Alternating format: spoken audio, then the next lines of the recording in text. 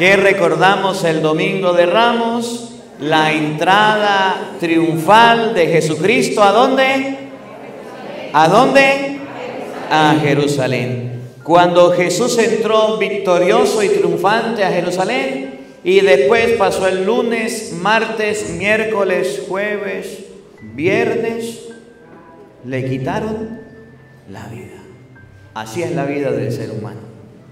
Hay momentos de gloria y esos momentos de gloria se acaban rapidito, ¿sí o no? Los momentos bonitos de la vida pasan muy rápidos. Los éxitos en la vida pasan muy rápidos. Y nosotros nos gusta vivir éxitos, nos gusta vivir bendiciones, pero eso pasa rápido y en algún momento se terminan. Y por eso debemos tener en cuenta que aunque los momentos bonitos pasen rápido, debemos disfrutarlos. Miren lo que le pasó a Jesús. Estaban recibiéndolo el domingo cantando y gloriosos y el día viernes ya lo estaban crucificando. Lectura del libro del profeta Isaías. En aquel entonces dijo Isaías, el Señor me ha dado una lengua experta para que pueda confrontar al abatido con palabras de aliento. Mañana tras mañana el Señor despierta mi oído para que escuche yo como discípulo. El Señor Dios me ha hecho oír sus palabras y yo no he opuesto resistencia ni me he echado para atrás. Ofrecí la espalda a los que me golpeaban, la mejilla a los que me tiraban de la barba no aparté mi rostro de los insultos y zaribazos. Pero el Señor me ayuda, por eso no quedaré confundido. Por eso endurecí mi rostro como roca y sé que no quedaré avergonzado. Palabra de Dios.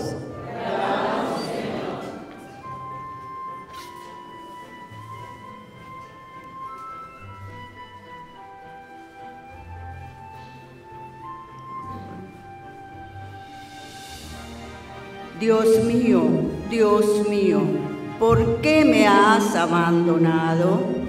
Dios mío, Dios mío, ¿por qué me has abandonado? Todos los que me ven de mí se burlan, me hacen gestos y dicen, confiaba en el Señor, pues Él lo salve, si de veras lo ama, que lo libre.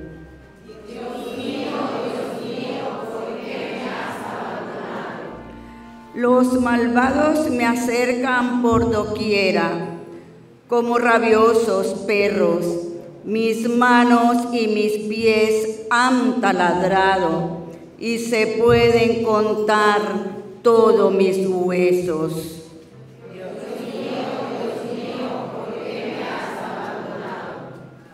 Reparten entre sí mis vestiduras y se juegan mi túnica a los dados.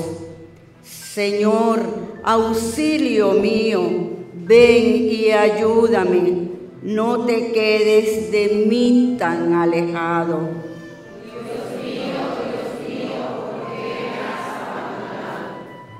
Contaré tu fama a mis hermanos, en medio de la asamblea te alabaré fieles del Señor, alábenlo, glorifícalo, linaje de Jacob, témelo, estirpe de Israel.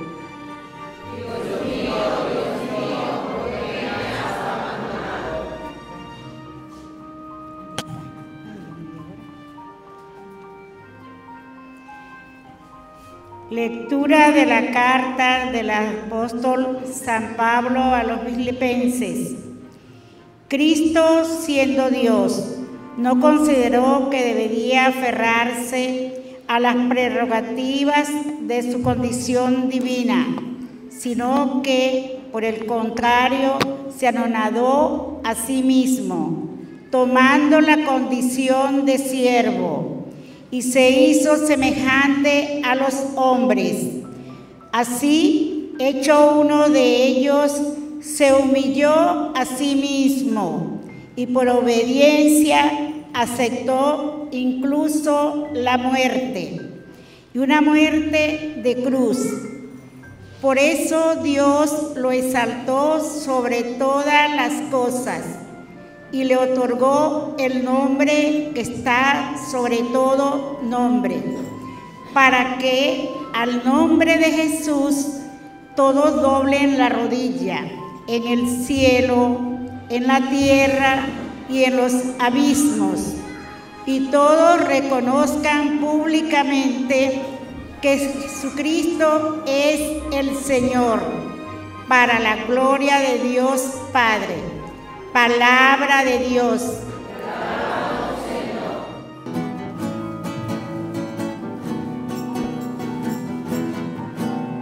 Honor y gloria a ti, Señor. Honor y gloria a ti, Señor. Honor y gloria a ti, Señor. Señor Jesús. Honor y gloria a ti, Señor. Honor y gloria a ti, Señor. Honor y gloria a ti, Señor. Señor Jesús.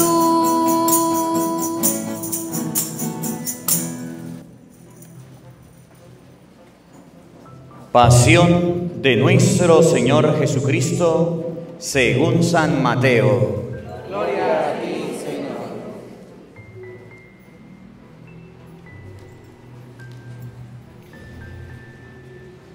En aquel tiempo uno de los doce, llamado Judas Iscariote, fue a ver a los sumos sacerdotes y les dijo, ¿Cuánto me dan si les entrego a Jesús? Ellos quedaron en darle 30 monedas de plata y desde ese momento andaban buscando una oportunidad para entregárselo. El primer día de la fiesta de los panes ácimos, los discípulos se acercaron a Jesús y le preguntaron, ¿Dónde quieres que te preparemos la cena de Pascua? Él respondió, Vayan a la ciudad, a casa de fulano, y díganle, el maestro dice que mi hora está ya cerca. Voy a preparar la Pascua con mis discípulos en tu casa. Ellos hicieron lo que Jesús le había ordenado y prepararon la cena de Pascua. Al atardecer se sentó a la mesa con los doce y mientras cenaban les dijo, Yo les aseguro que uno de ustedes va a entregarme. Ellos se pusieron muy tristes y comenzaron a preguntarle uno por uno, ¿Acaso soy yo, Señor? Él respondió, El que moja su pan en el mismo plato que yo, ese va a entregarme. Porque el Hijo del Hombre va a morir como está escrito de él. Pero hay de aquel por quien el Hijo del Hombre va a ser entregado. Más se le valiera a ese hombre no haber nacido.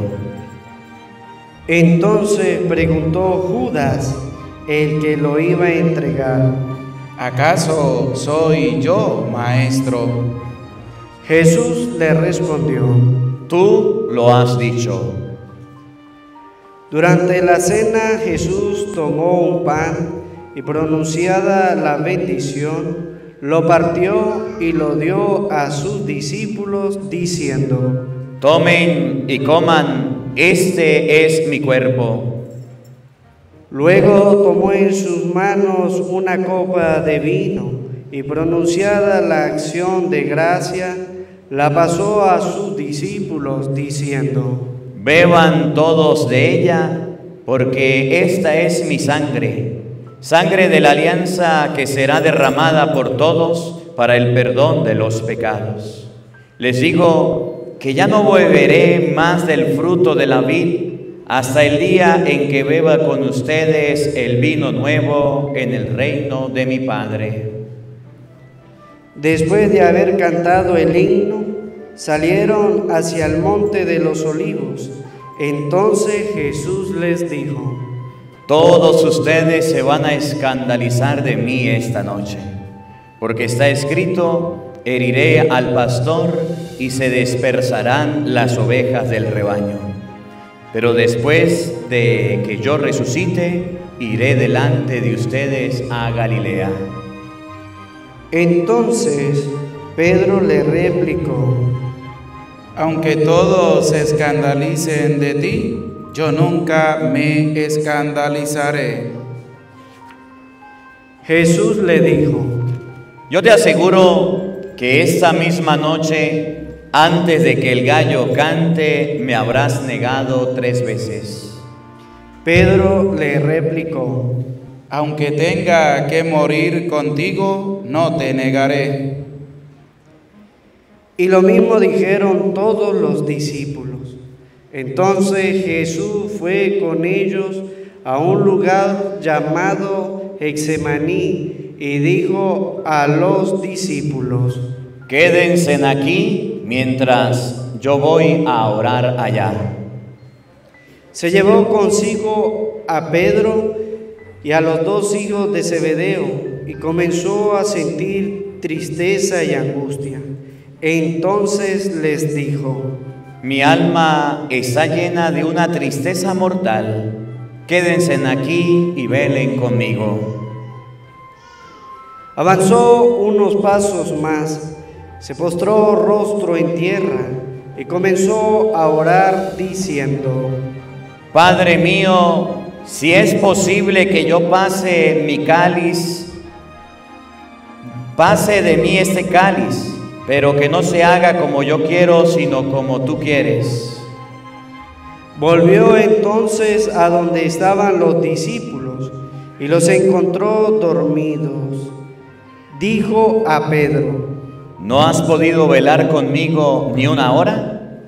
Velen y oren para no caer en la tentación, porque el espíritu está pronto, pero la carne es débil. Y alejándose de nuevo se puso a orar diciendo, Padre mío, si este cáliz no puede pasar sin que yo lo beba, hágase tu voluntad. Después volvió y encontró a sus discípulos otra vez dormidos, porque tenían los ojos cargados de sueño. Los dejó y se fue a orar de nuevo, por tercera vez, repitiendo las mismas palabras. Después de esto, volvió donde estaban los discípulos y les dijo, Duerman ya y descansen. He aquí que llega la hora y el Hijo del Hombre va a ser entregado en manos de los pecadores. Levántense, vámonos. Ya está aquí el que me va a entregar. Todavía estaba hablando Jesús cuando llegó Judas, uno de los doce, seguido de una chusma numerosa con espadas y palos, enviada por los sumos sacerdotes y los ancianos del pueblo. El que lo iba a entregar les había dado esta señal. Aquel a quien yo le dé un beso, ese es, apréndanlo. Al instante se acercó a Jesús y le dijo, Buenas noches, maestro. y lo besó. Jesús le dijo, Amigo, ¿es esto a lo que has venido? Entonces se acercaron a Jesús, le echaron mano y lo apresaron. Uno de los que estaban con Jesús sacó la espada, hirió a un criado del sumo sacerdote y le cortó la oreja. Le dijo entonces Jesús, Vuelve la espada a su lugar, pues quien usa la espada a espada morirá. ¿No crees que si yo se lo pidiera a mi Padre, Él pondría ahora mismo a mi disposición más de doce legiones de ángeles? Pero, ¿cómo se cumplirían entonces las escrituras que dicen que así debe suceder? Enseguida dijo Jesús a aquella chusma, Han salido ustedes a apresarme como a un bandido, con espadas y palos. Todos los días yo enseñaba sentado en el templo y no me aprendieron. Pero todo esto ha sucedido para que se cumplieran las predicciones del profeta. Entonces todos los discípulos lo abandonaron y huyeron. Los que aprendieron a Jesús lo llevaron a la casa del sumo sacerdote Caifás, donde los escribas y los ancianos estaban reunidos. Pedro lo fue siguiendo de lejos hasta el palacio del sumo sacerdote. Entró y se sentó con los criados para ver en qué paraba aquello. Los sumos sacerdotes y todo el Sanedrín andaban buscando un falso testimonio contra Jesús con ánimo de darle muerte, pero no lo encontraron, aunque se presentaron muchos testigos falsos. Al fin llegaron dos que dijeron, Este dijo, puedo derribar el templo de Dios y reconstruirlo en tres días. Entonces el sumo sacerdote se levantó y le dijo, ¿no respondes nada a lo que estos atestiguan en contra tuya? Como Jesús callaba, el sumo sacerdote le dijo, Te conjuro por el Dios vivo a que nos digas si tú eres el Mesías, el Hijo de Dios. Jesús le respondió, Tú lo has dicho. Además, yo les declaro que pronto verán al Hijo del Hombre sentado a la derecha de Dios venir sobre las nubes del cielo. Entonces el sumo sacerdote rasgó sus vestiduras y exclamó, Ha blasfemado. ¿Qué necesidad tenemos ya de testigos? Ustedes mismos han oído la blasfemia. ¿Qué les parece? Ellos respondieron, Es reo de muerte. Luego comenzaron a escupirle en la cara y darle de bofetada. Otros lo golpeaban diciendo, Adivina quién es el que te ha pegado. Entre tanto, Pedro estaba afuera sentado en el patio. Una criada se le acercó y le dijo, Tú también estabas con Jesús el Galileo. Pero él lo negó ante todos diciendo, No sé de qué me estás hablando. Ya se iba hacia el zaguán cuando lo vio otra criada y dijo a los que estaban ahí, También ese andaba con Jesús el Nazareno. Él de nuevo lo negó con juramento. No conozco a ese hombre. Poco después se acercaron a Pedro los que estaban ahí y le dijeron, No cabe duda de que tú también eres de ellos, pues hasta tu modo de hablar te delata. Entonces él comenzó a echar maldiciones y a jurar que no conocía a aquel hombre. En aquel momento cantó el gallo. Entonces se acordó Pedro de que Jesús había dicho, antes de que cante el gallo me habrás negado tres veces.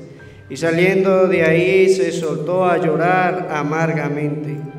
Llegada la mañana, todos los sumos sacerdotes y los ancianos del pueblo celebraron consejo contra Jesús para darle muerte.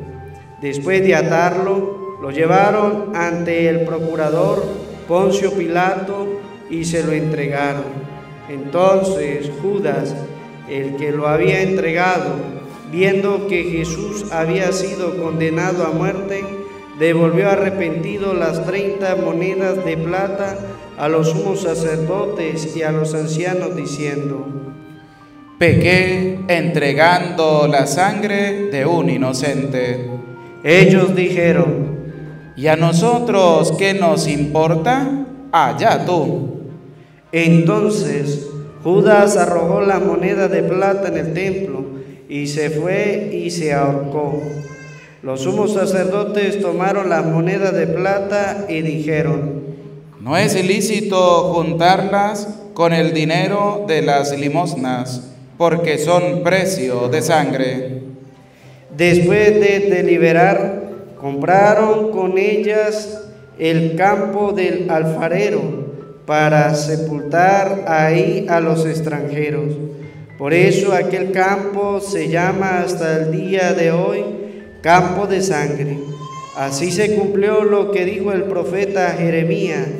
Tomaron las treinta monedas de plata en que fue tasado aquel a quien pusieron precio algunos hijos de Israel y la dieron por el campo del alfarero, según lo que me ordenó el Señor. Jesús compareció ante el procurador Poncio Pilato, quien le preguntó, ¿Eres tú el rey de los judíos? Jesús respondió, Tú lo has dicho. pero nada respondió a las acusaciones que le hacían los sumos sacerdotes y los ancianos. Entonces le dijo Pilato, ¿No oyes todo lo que dicen contra ti? Pero él nada respondió hasta el punto de que el procurador se quedó muy extrañado. Con ocasión de la fiesta de la Pascua, el procurador solía conceder a la multitud la libertad del preso que quisiera. Tenían entonces un preso famoso llamado Barrabás. Dijo pues Pilato a los ahí reunidos, ¿A quién quieren que les deje en libertad? ¿A Barrabás o a Jesús, que se dice el Mesías? Pilato sabía que se lo habían entregado por envidia. Estando él sentado en el tribunal, su mujer mandó decirle, No te metas con ese hombre justo, porque hoy he sufrido mucho en sueños por su causa. Mientras tanto, los sumos sacerdotes y los ancianos convencieron a la muchedumbre de que pidieran la libertad de Barrabás y la muerte de Jesús. Así, cuando el procurador les preguntó, ¿A cuál de los dos quieren que le suelte? ellos respondieron, A Barrabás. Pilato les dijo, ¿Y qué voy a hacer con Jesús que se dice el Mesías? respondieron todos. Crucifícalo. Pilato preguntó, Pero, ¿qué mal ha hecho? mas ellos seguían gritando cada vez con más fuerza. Crucifícalo. Entonces Pilato, viendo que nada conseguía y que crecía el tumulto, pidió agua y se lavó las manos ante el pueblo diciendo, Yo no me hago responsable de la muerte de este hombre justo. Allá ustedes.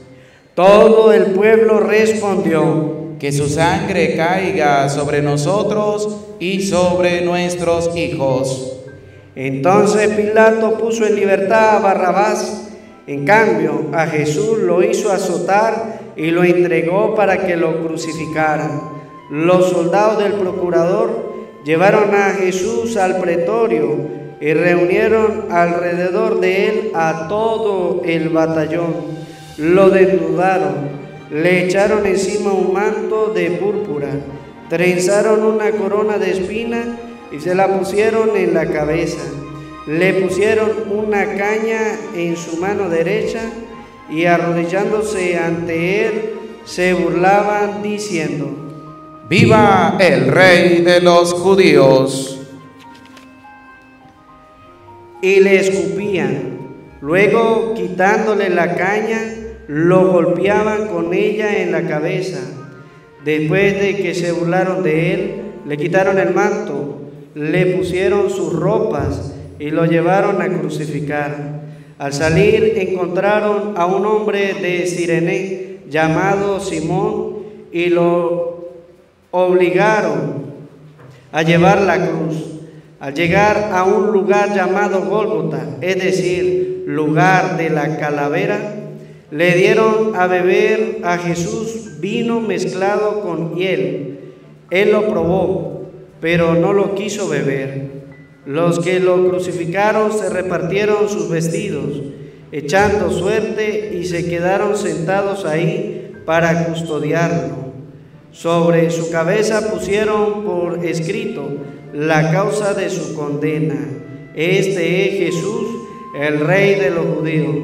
Juntamente con él crucificaron a dos ladrones, uno a su derecha y el otro a su izquierda. Los que pasaban por ahí lo insultaban, moviendo la cabeza y gritándole. Tú que destruyes el templo y en tres días lo reedificas, sálvate a ti mismo. Si eres el Hijo de Dios, baja de la cruz. También se burlaban de él los sumos sacerdotes, los escribas y los ancianos, diciendo, ¿Ha salvado a otros y no puede salvarse a sí mismo? Si es el rey de Israel, que baje de la cruz y creeremos en él. Ha puesto su confianza en Dios, que Dios lo salve ahora, si es que de verdad lo ama, pues él ha dicho, soy el Hijo de Dios. Hasta los ladrones que estaban crucificados a su lado lo injuriaban. Desde el mediodía hasta las tres de la tarde se oscureció toda aquella tierra y alrededor de las tres Jesús exclamó con fuerte voz, Elí, Elí, lemat sabactani. que quiere decir, Dios mío, Dios mío, ¿por qué me has abandonado? Algunos de los presentes al oírlo decían, Está llamando a Elías. Enseguida uno de ellos fue corriendo a tomar una esponja, la empapó en vinagre y sujetándola a una caña le ofreció de beber, pero los otros le dijeron, Déjalo, vamos a ver si viene Elías a salvarlo. Entonces Jesús, dando de nuevo un fuerte grito, expiró. En este momento nos colocamos todos de rodilla un instante.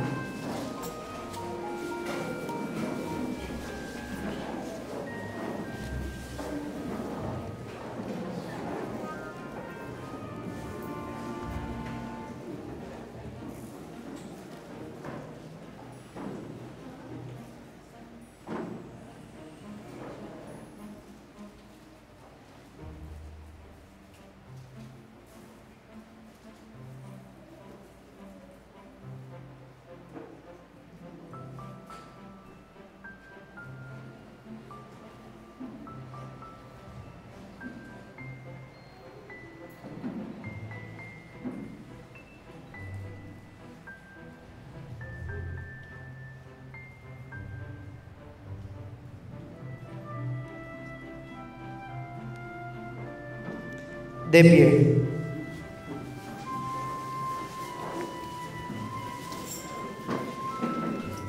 Entonces el velo del templo se rasgó en dos partes, de arriba abajo. La tierra tembló y las rocas se partieron. Se abrieron los sepulcros y resucitaron muchos justos que habían muerto. Y después de la resurrección de Jesús, entraron en la ciudad santa y se aparecieron a mucha gente. Por su parte, el oficial y los que estaban con él custodiando a Jesús, al ver el terremoto y las cosas que ocurrían, se llenaron de gran temor y dijeron, Verdaderamente este era Hijo de Dios. Estaban también ahí mirando desde lejos muchas de las mujeres que habían seguido a Jesús desde Galilea para servirlo.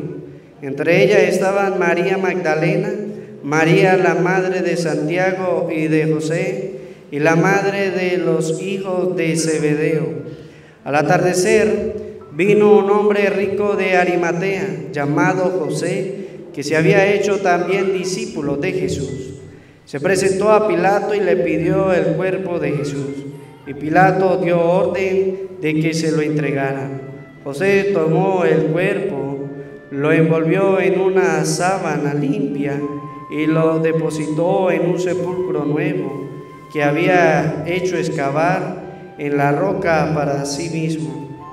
Hizo rodar una gran piedra hasta la entrada del sepulcro y se retiró. Estaban ahí María Magdalena, María Magdalena y la otra María sentada frente al sepulcro. Al otro día, el siguiente de la preparación de la Pascua, los sumos sacerdotes y los fariseos se reunieron ante Pilato y le dijeron, Señor, nos hemos acordado de que ese impostor, estando aún en vida, dijo, a los tres días resucitaré. Manda, pues, asegurar el sepulcro hasta el tercer día, no sea que vengan sus discípulos, lo roben y digan luego al pueblo, resucitó de entre los muertos, porque esta última impostura sería peor que la primera. Pilato les dijo, Tomen un pelotón de soldados, vayan y aseguren el sepulcro como ustedes quieran. Ellos fueron y aseguraron el sepulcro poniendo un sello sobre la puerta y dejaron allí la guardia. Palabra del Señor.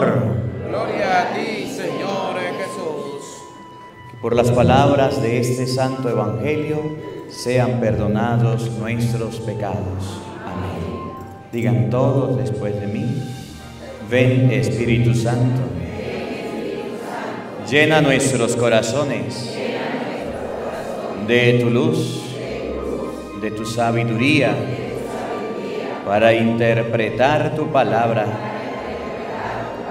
no como palabra humana, sino como palabra de Dios, que es en realidad y que ejerza su acción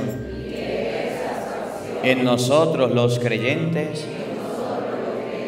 Amén. Tengan la bondad de sentarse, por favor. Buenos días, buenas tardes y buenas noches.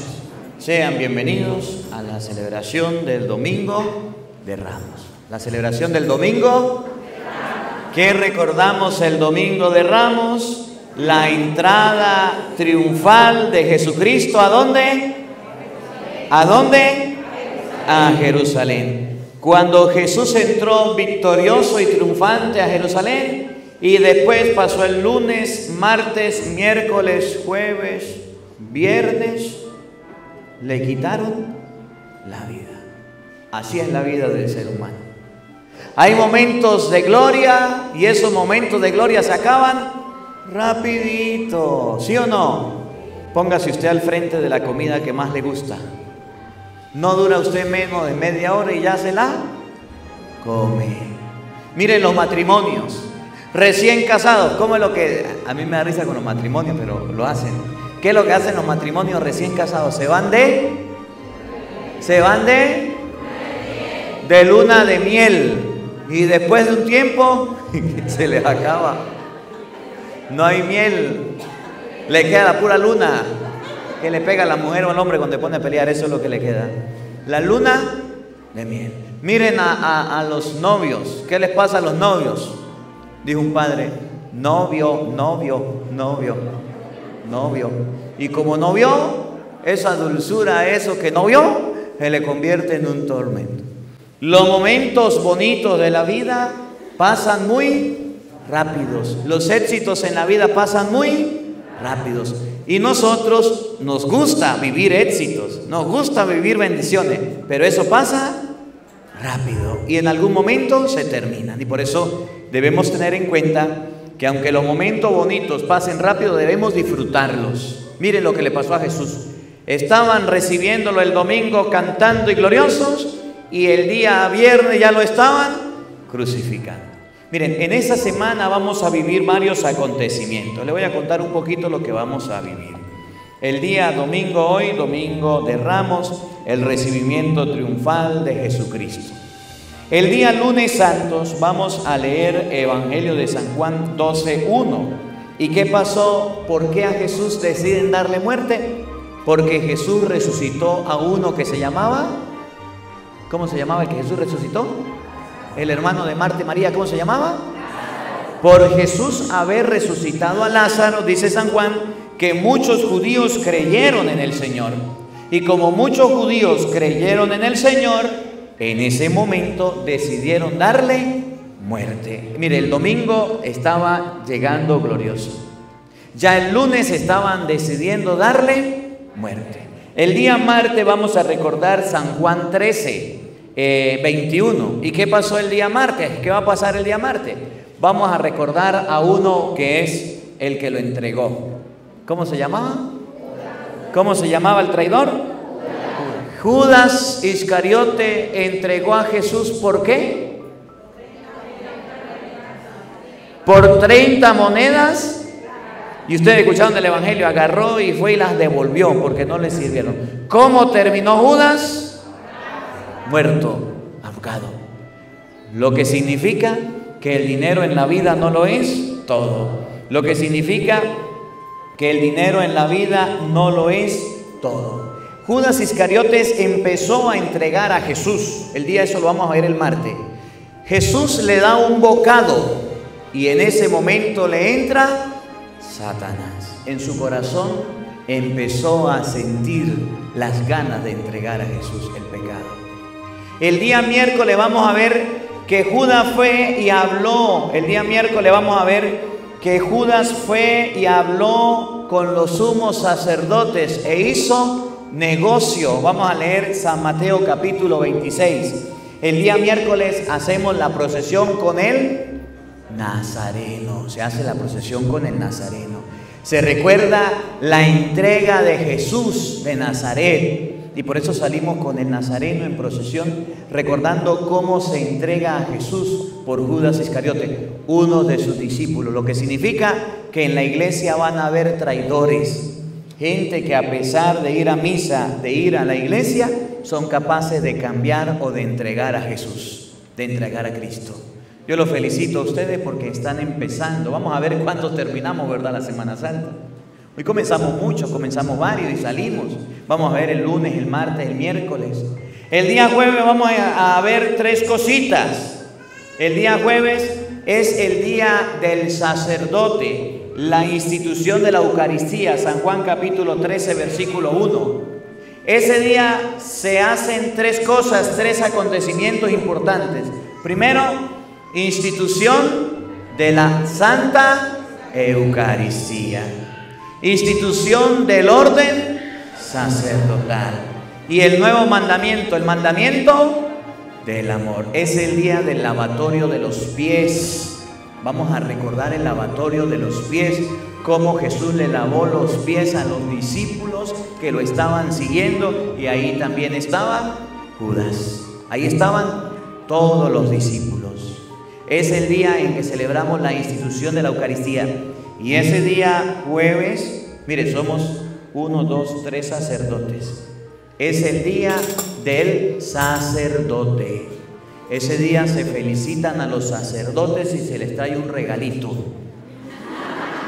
Ríanse, pero es en serio. El jueves sacerdotal, el jueves, por eso ustedes ven que los jueves hay hora santa. Y uno dice, ¿por qué hay hora santa? Porque un jueves fue cuando Jesús instituyó la Eucaristía. Aquí en Venezuela se acostumbre a hacer el jueves algo que es de comida. ¿Cómo se llama? Los siete potajes o los siete platos, las siete comidas. Yo no sé si en su país lo harán, pero aquí en Venezuela es costumbre. Se reúnen las familias, la hermana mayor trae un dulce, la hermana menor trae la barriga para comer, el hermano del medio trae los platos, uno trae el aguapanela, otro trae el pollo, otro trae la comida, toda la comida, y toda la familia come siete platos diferentes. Ese día le voy a encargar un, dulcito para los padres, ¿verdad? un dulcito de lechosa, un quesillo, una tortita, una delicada. Somos poquitos, somos poquitos, ¿sí? Entonces, con uno hace para todo. Es el día en que usted debe llamar a su párroco, es el día en que usted debe felicitar a su sacerdote. Nosotros los sacerdotes, un día como ese fuimos consagrados, el ministerio sacerdotal, el orden sacerdotal. Eso es lo que se celebra el día jueves. El día viernes vamos a tener la pasión y la muerte de Jesucristo. El único día donde no se celebra la misa en el mundo es el día viernes. No hay misa, hay celebración. Ese día vamos a predicar las siete palabras. ¿Se acuerdan de las palabras de Jesucristo? ¿Cuántas fueron? Siete. Vamos a predicarlas. Y entonces nosotros los padres vamos a distribuirnos la palabra. Un padre viene y predica la primera, otro padre la segunda, la tercera, la cuarta, hasta la siete. Ese viernes vamos a tener, se tiene, se tiene la procesión del Nazareno, la procesión de la Dolorosa, se tienen las procesiones. Vamos a tener lo que se llama la adoración de la Santa Cruz. ¿Qué es la adoración de la Santa Cruz? Se viste la cruz de morado y se trae y el Padre dice, miren el árbol de la cruz donde estuvo clavado Cristo el Salvador del mundo. Y decimos todos, venid y adoremos. Se recoge una ofrenda ese día y en ese día esa ofrenda se envía a Roma para los lugares santos. Ese día vamos a tener las palabras, la muerte de Jesús. Según lo que nos narran, nos dicen, Jesús murió ¿Como a qué hora más o menos? Como a las 3 de la tarde. Como a las 3 de la tarde fue la muerte de nuestro Señor Jesucristo. Ese día se recuerda la pasión y muerte. Dato curioso, que en ninguna parte del mundo se celebra la misa. Solamente vamos a tener la celebración, vamos a tener la, este, vamos a tener eh, la adoración de la Santa Cruz, las siete palabras, vamos a compartir. Y es un día de silencio, es un día en que debemos hacer ayuno, debemos hacer oración. Y después, el día sábado, vamos a tener el sábado de gloria, vamos a tener el sábado de gloria. Después de las seis de la tarde, después de las seis de la tarde, ya pasamos al día siguiente. Jesucristo murió un viernes, 3 de la tarde al día sábado, de 3 a 6 un día, de 6 de la tarde a 6 de la tarde el viernes, dos días, y del sábado, de 3 del viernes, de 3 de la tarde a 6 de la tarde, un día, de 6 de la tarde del viernes a 6 de la tarde del sábado, otro día, y del día sábado a las 6 de la tarde al domingo, el siguiente día. Entonces vamos a tener lo que se llama la resurrección. Entonces se inicia con la bendición del fuego. Entonces en la parte de afuera vamos a tener la leñita, vamos a tener todo organizado y vamos a bendecir el fuego. El Padre va a traer, va a tener el cirio para bendecir. Ese sábado todos debemos traer la velita. Debemos traer la velita. Padre, yo quiero que me bendiga la luz. Se bendice el sábado. Ese sábado se bendice la velita. Y entonces, después de bendecir la velita, nos venimos todos al templo, ya medio oscuros, nos venimos todos al templo. Y entonces se hacen las lecturas, se hacen las siete lecturas o en su defecto tres. Y después de las lecturas viene el canto de gloria, viene el canto de gloria, viene el canto de alabanza, de glorificar al Señor. Es ahí donde recordamos la resurrección del Señor. Y después del canto de gloria, entonces sí viene la renovación de las promesas bautismales y viene la bendición del agua. Se bendice el agua para los bautizos, si van a ver, y se bendice el agua para el pueblo. Es el día donde usted se trae una botellita de agua, ese es el día. No para, para los brujos, no para hechicería, es para que usted tenga agua bendita en su casa. Ese es el día. No es que tenga que agarrar al Padre acá, ratico, bendígame el agua, bendígame el agua. El día que se bendice el agua es el sábado de gloria. Y entonces se bendice la luz que usted va a traer, tiene que traer su velita, se bendice el agua que usted va a traer. Y después se hace lo que se llaman bautismos de los catecúmenos. Ahí se, se, bautizan a los niños, se bautizan a los grandes, lo que se tenga preparado en la comunidad, ¿verdad? Vamos a hacer los bautizos. Y después de los bautizos continúa la celebración. Y eso es lo que tenemos. y el día domingo viene la celebración de la misa del día. Eso es lo que vamos a celebrar en esta Semana Santa. Es lo que vamos a vivir en estos momentos. Vamos a recordar la pasión, muerte de nuestro Señor Jesucristo. Quiero resaltar de este Evangelio algunas cositas, algunas cositas del Evangelio, algunas de las palabras que Jesús decía. Jesús en el Evangelio que acabamos de leer, que es de San Mateo capítulo 26, capítulo 27, nos va a enseñar, nos va a mostrar en este santo Evangelio que ustedes y yo tenemos momentos de gloria, pero también tenemos momentos duros. Por ejemplo, Jesús le dijo a sus discípulos, vayan a la ciudad en casa de fulano y díganle, el maestro dice, ha llegado mi hora, ya está cerca. Voy a celebrar la Pascua con mis discípulos. Jesús manda, miren, nosotros, Padre Umaña y yo tuvimos la oportunidad de ir a Israel, a este lugar. Igualitico como lo dice el Evangelio en Israel. Cuando vaya ahorita, si Dios quiere, el Padre José Gregorio va a ir también. Cuando vayamos a Israel le voy a mostrar este lugar. Dice que es en una casa en la parte de arriba. Y es un salón, digamos como que si no tuviera pared allí, un salón. Y ahí se celebró la última cena, la cena de Pascua. Los panes ácimos, el cordero, el pan, el vino se celebró. Ahí fue donde Jesús agarró el pan y le dijo, tomen, coman, esto es mi cuerpo. Agarró el vino y dijo, tomen, beban, esto es mi sangre, esta es mi sangre. Esa es la última cena. Eso lo vamos a recordar en esta semana. Por eso nosotros los católicos tenemos algo muy importante que se llama la Eucaristía. Y es lo que estamos viviendo, la Santa Misa, la Eucaristía. Por eso el Padre no de repente no agarra aquí y se pone a predicar cualquier cosa, a decir cualquier cosa, a diferencia de los protestantes que hacen culto y predican lo que quieren. Nosotros tenemos la Eucaristía. Y es el sacramento, lo que dice Juan 6:54, para tener vida eterna. En este evangelio recordamos también, recordamos también que Jesús le dice a los apóstoles que uno lo va a entregar. ¿Cómo se llamaba? Judas. Judas lo iba a entregar. ¿Y qué nos enseña la palabra?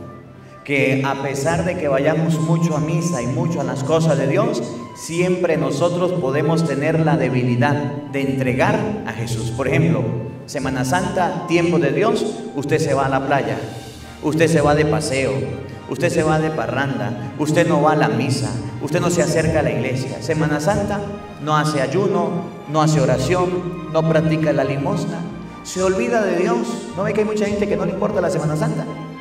Hay mucha gente que estamos y cuánta gente no nos vieron caminando y cuántos se quedaron en casa pues y cuántos no pudieron venir. Y dicen que son católicos y dicen que creen en Dios y dicen que hablan de Cristo, pero se les olvidan las cosas de Dios. Se les olvidan las cosas del Señor. Entregan a Cristo. Así como lo hizo Judas. Tenemos otro personaje que se llamaba Pedro. ¿Qué hizo Pedro? ¿Qué hizo Pedro? Pero antes de negarlo le dijo al Señor, yo no me voy a entregar a usted. Aunque me cueste la vida, yo me voy a entregar por ti.